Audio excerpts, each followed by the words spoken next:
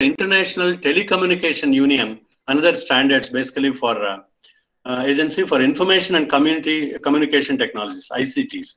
It was founded in 1825.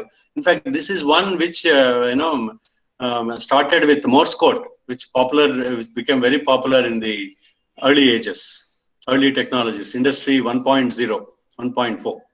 It was founded in 1865 to facilitate the international connectivity in communication networks, allocate global radio spectrum and satellite orbits, develop the technical standards that ensure networks and technologies seamlessly interconnecting them, and strive to improve access to in, in ICTs to understand communities worldwide. Every time you make a phone call via mobile, access the internet, or send an email, you are benefiting from the work of ITU. That's the standard set by